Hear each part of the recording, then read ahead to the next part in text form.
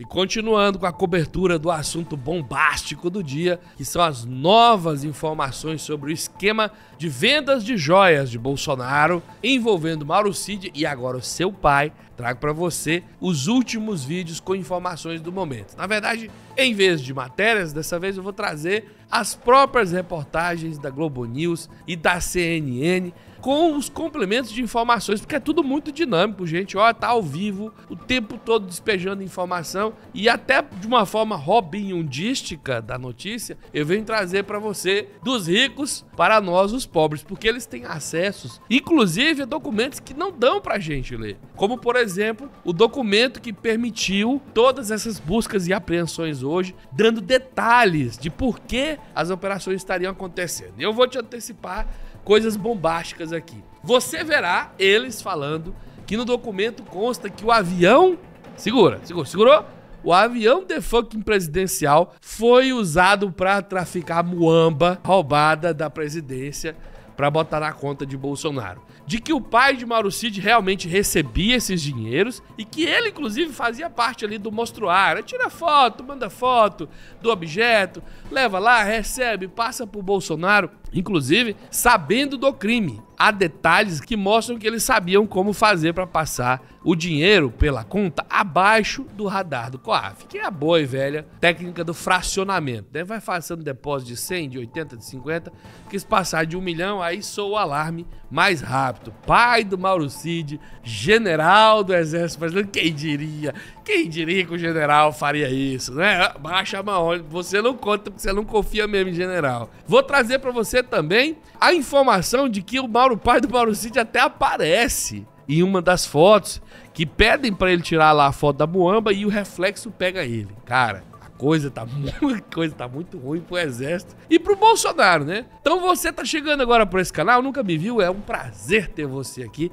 Senta o dedo no like, deixe seu comentário aí na área de comentários para que as pessoas possam dar boas-vindas a você. E vamos começar escutando aqui então a Daniela Lima com um pouco mais de detalhes às sete e meia da manhã, quando houve a confirmação de que a Polícia Federal tinha batido, inclusive na Vila Militar, onde o pai do Mauro Cid, o general Cid, tem casa em Brasília, né? Ou seja, num território de Forças Armadas, a PF foi lá para fazer a busca e apreensão. Havia certo temor sobre qual era o tamanho dos indícios que se tinha para uma ação. Olha, gente, ó, Faz muito tempo que não tem batida na casa de general de quatro estrelas para pegar caso de agora, né? O que se tem, gente, são indícios de corrupção, de lavagem de dinheiro, de descaminho de patrimônio público. Bom, eu liguei para o ministro da Defesa, ministro José Múcio Monteiro, consegui falar com ele por volta uh, de uh, 8h40 da manhã. Ele estava desembarcando no Rio de Janeiro, onde daqui a pouco, às 11 horas, vai ter cerimônia de lançamento do PAC com o Luiz Inácio Lula da Silva. Então ele me disse: Olha, eu estou pousando agora, acabei de saber. Eu perguntei, ministro, alguém avisou o senhor antecipadamente dessa ação em cima de um general da reserva Verdade, mais de quatro estrelas? E ele disse: Não.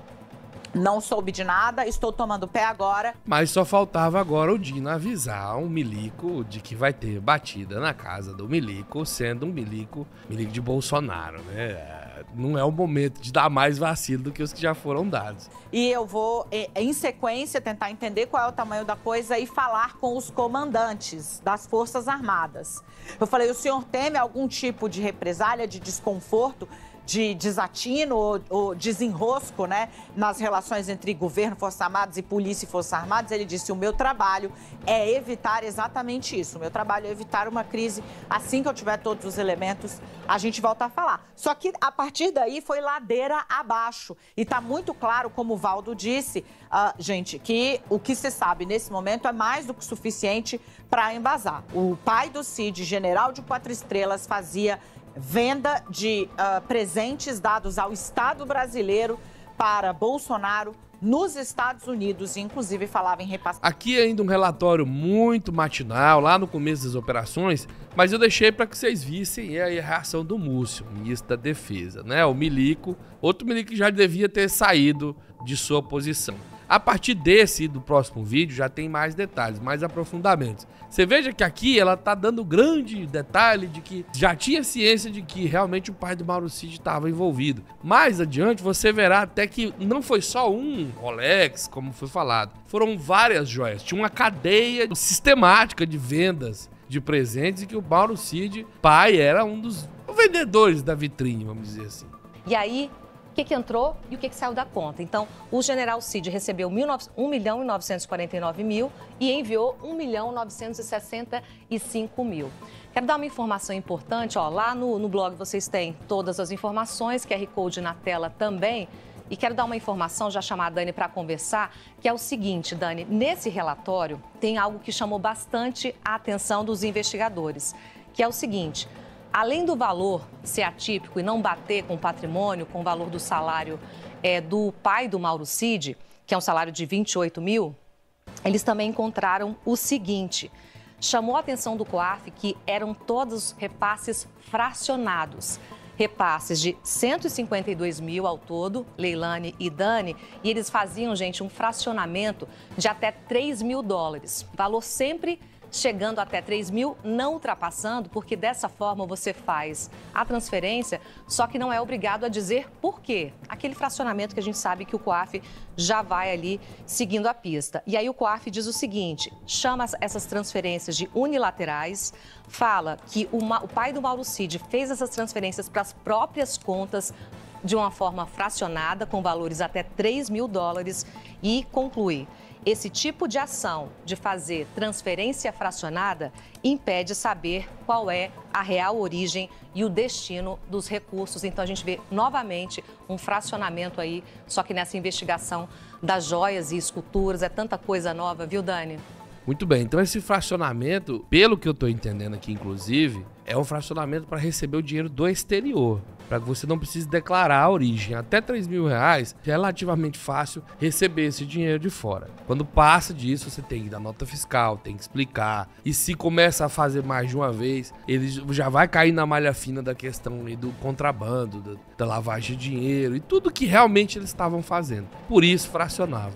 Entre, as, entre os conjuntos de joias que é, o pai de Mauricide, a, a, pedido do filho, vendia lá nos uhum. Estados Unidos, eles tentaram vender aquele conjunto, tem tanta coisa de aqui. masculino, né? Es, é, foram duas esculturas de barco e palmeira dourados que foram recebidos por Bolsonaro no dia 16 de novembro de 2021, no encerramento do seminário empresarial comercial Arbre Brasil em Bahrein, né? Uhum. Aí esse material foi enviado para lá, foi é, é, enviado para os Estados Unidos, como você citou aí, foi no avião presidencial.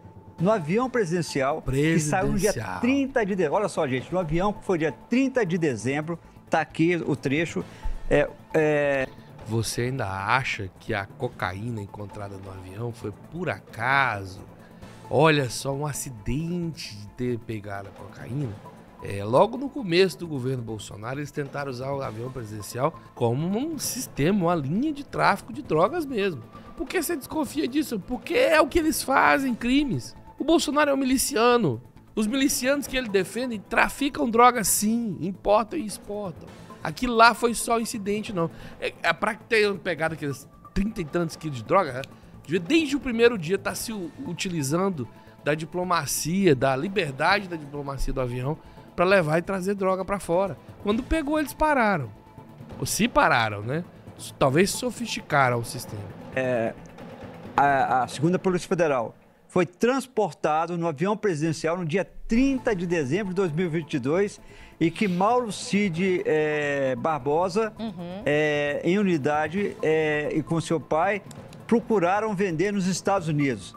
E também estavam é, Osmar Crivalete e Marcelo Câmara. Ou seja, sabe aquela suspeita que a gente tinha? Primeiro, só porque tem tanta coisa, gente, que está difícil é, falar. Aqui. Né?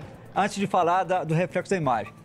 A, agora fica tudo explicado. Lembra aquela correria para liberar Isso, aquele conjunto de joias em Guarulhos? Perfeito. Né? Por quê? Era para colocar no avião. Nesse avião. Era para colocar no avião, gente. Tá na cara, porque várias joias foram nesse avião para os Estados Unidos, né? Então, esse conjunto foi para lá.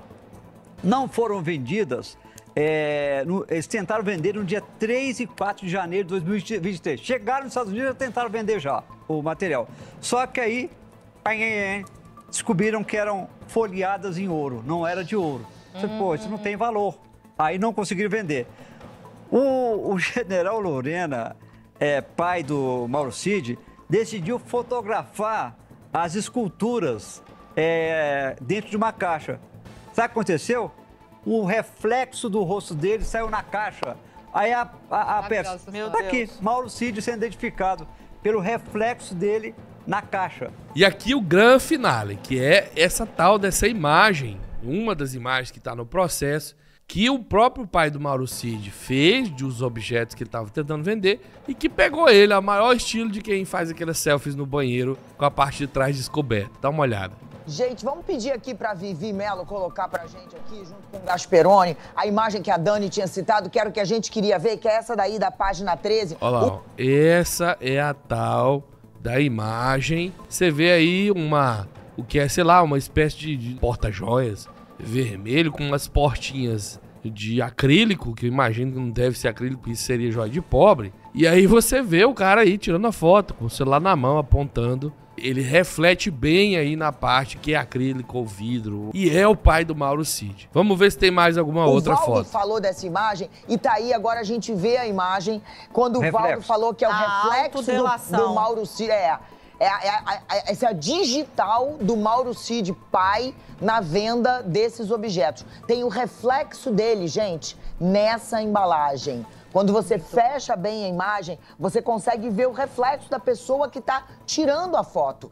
Essa é a pessoa está se auto-incriminando, fazendo, deixando provas contra ela mesma nessa imagem aí, quando ele então fotografa a, a joia que ele quer vender. E depois, na página 15, se a Vivi puder mostrar também, a gente tem a outra coisa que a Camila e o Valdo trouxeram, que é a tal da palmeirinha, que não foi vendida porque era apenas folheada a ouro, não era ouro maciço. Essa daí, então. Tá aí, ó, mais um objeto. Era um sistema, né? Inclusive, eu, eu imagino que possa ser qualificado como formação de quadrilha aqui, porque era um sistema permanente de apropriação de bens públicos, contrabando para o exterior, venda ilegal, evasão de divisas e lavagem de dinheiro. É um monte de crime aqui. Um monte de crime. Então tá aí, ó. É um objeto de menor valor que não foi nem vendida porque não valia a pena. E a palmeirinha, curiosamente, ela tá dentro da caixa de joias que onde aparece o pai do Mauro Cid flagrante. Gostou? Esse é o Brasil. Se liga aqui no canal, se inscreve, comenta, faz com que esse vídeo circule, porque tem mais informações para trazer para você. Sim, à medida que a grande imprensa for tendo acesso a esses relatórios que são sigilosos, nós vamos trazendo para você aqui no canal. Até mais!